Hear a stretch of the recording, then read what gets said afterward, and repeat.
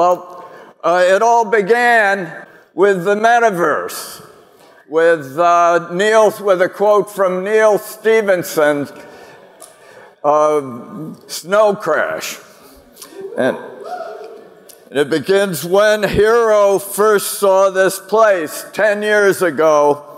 The monorail, monorail hadn't been written yet. He and his buddies had to write car and motorcycle software just to get around.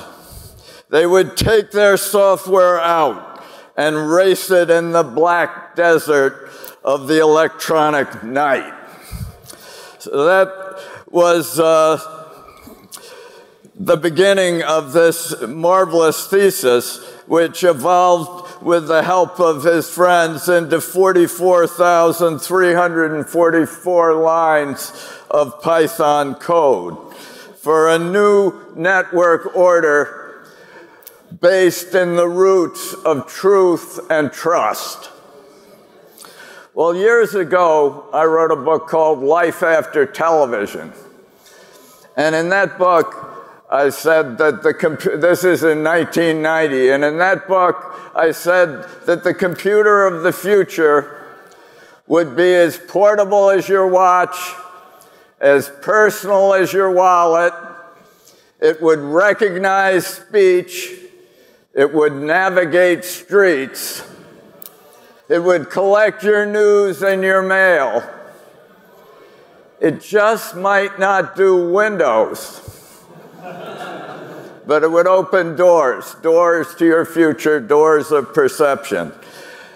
I also said in that book that in the future, dominated by the internet, no one would ever have to see any ads they didn't want to see anymore. And that didn't quite happen. And uh, what uh, we're finding now is the fundamental insight that ads are, sub- are actually minuses unless they are uh, really well targeted uh, is uh, being discovered by Google. Nobody really wants to see an ad before they uh, look at their YouTube video. Uh, these are value subtracted ads, minuses, and, uh, and they, it's not a sustainable model. And it's, and it's uh, the heart of Google's whole economy. It's uh, aggregate and advertise. And uh, they are uh, capturing your data and your content and, uh, and uh, subtracting uh, their profits rather than really contributing them. Um, free goods are not really goods. Goods entail a real relationship with the customer. They they entail price discovery, which is the crucial learning process in an expanding capitalist economy. They entail liabilities to customers. They entail perfecting your goods rather than just releasing your betas. They, um, and Google continually shrinks from the process of actually entering the capitalist economy and uh, testing themselves against the market. It, they're a great company, but uh, they uh, need a new business plan and aggregate and advertise and free goods to keep out the competition. Nobody can compete with free, um, is not uh, tenable. But even more important is the failure of security.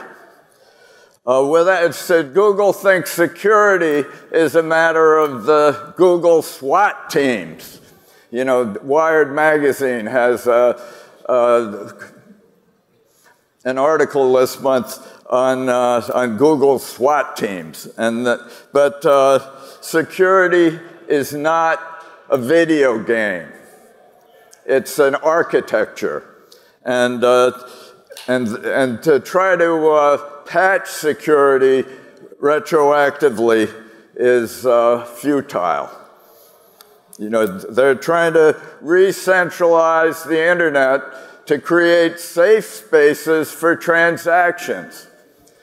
But we're discovering that centralization is not safe.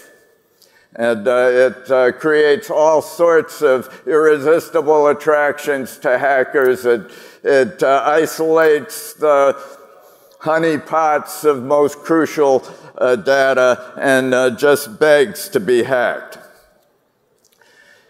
Further, internet fiefdoms are not sustainable.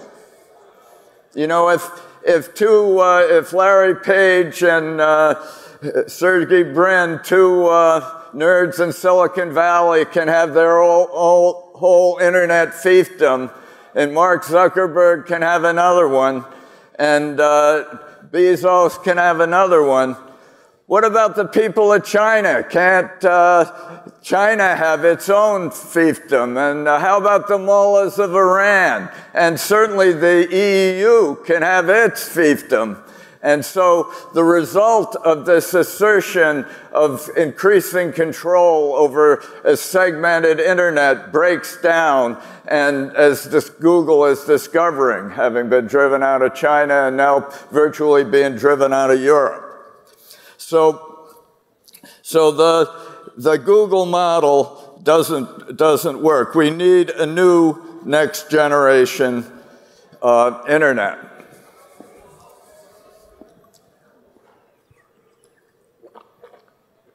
And I think we're getting it with Blockstack. And I, it's a cadaster economy. Cadaster is the old word for, blo for blockchain. It's a, it's a ledger that contains all the, the goods and services, the assets in a particular community from the Middle Ages. And I think cadaster should be retrieved for our economy. Well, what are the key principles? One is that it's logically centralized. There's one view of state, but no central control. And that's really the definition of the blockchain. As uh, Muneeb says, it's the most sophisticated and complex yet elegant and beautiful technology I've ever run across. And it is indeed a major insight and uh, breakthrough worthy of a new renaissance. Another principle that's crucial that hasn't been understood completely by the blockchain community is to separate the control plane from the data plane. This is a fundamental principle of networking, but uh, it isn't, hasn't been uh, grasped fully by Ethereum and other uh, cluttered and complex blockchain endeavors. And I think that uh, this is a brilliant insight of Blockstack, is to separate the control plane from the data plane. Makes it, makes it the uh, scalable system that uh, is completely can can uh, improve with the advance of uh, technology even faster than the advance of technology. And there are all sorts of wonderful security technologies, hardware technologies uh, being developed. There's a company called Genetix that's learned how to do private keys through the fluctuations in the molecules in microchips. So they get pure random numbers in microchips for private keys. This is Genetix Corporation. Uh, and uh, there are a lot of other really fascinating advances in security that uh, will feed into the Blockstack uh, adventure. And a third is that the new, a new architecture must be compatible with the old architecture. It must be able to grow without directly displacing or confronting the established powers. And uh, we learned this lesson in politics a few years back. The Russians and Chinese did different paths to liberalization. the Russians tried to liberate their economy from the center, issuing perestroika across the land. And this meant that all the forces that were threatened by the change all would mobilize against it. It maximized opposition. While in China, they followed the opposite strategy. They created free zones all along uh, the following the example of Hong Kong. And, the, and all the forces worked to expand the free zones. All the activity happened in the free zones. Everybody wanted to get into the free zones. And uh, so uh, China actually could create a thriving capitalist economy while Russia has staggered from the outset. And I think that the genius of Blockstack is that it transforms the existing internet into a kind of utility to feed the Blockstack system. But the Blockstack system begins quietly. Uh, as, it, as more and more people claim their rights to their identities and to their data, they will uh, increasingly exert pressure and shape the established uh, companies. Uh, but uh, they are not directly throwing down the gauntlet uh, to, uh, the, to the old order, and that makes it possible for it to grow. And a final point is comes from information theory. I've been I've written two or three books now about information theory, applying it to economics. And one of the key principles is it takes a low entropy carrier, that's a carrier with no surprises, to bear high entropy creativ- creativity and messages. And, and that, is, uh, that is fundamental. And uh, uh, again, the blockchain is the low entropy carrier that can enable all sorts of creativity on top of it. Uh, it's not the whole solution. It's, uh, it's, a, it's a source of trust and truth.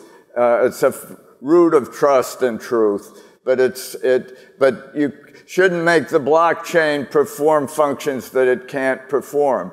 And uh, I was uh, involved in the Java movement for a long time. And uh, the, I think that the virtual chains that Jude Nelson created for uh, Blockstack are similar to the virtual machines, the Java virtual machines that enable portability across all the browsers. And this uh, virtual chains enables portability across all the blockchains. And uh, it's already been demonstrated with the move from Namecoin to Bitcoin, of course. So uh, this is uh, a tremendous uh, feature of uh, an invention of Blockstack that uh, makes them vitally important. So in Life After Television, I spoke about the overthrow of all the principles and powers, pyramids and power grids of the existing establishment.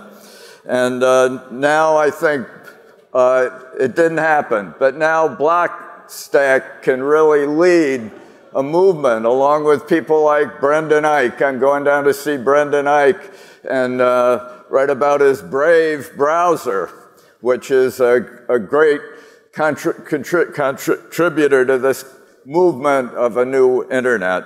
And uh, they are going to take this, overthrow this so called winner take all internet and make it an, an internet where we can all be winners again. Thank you.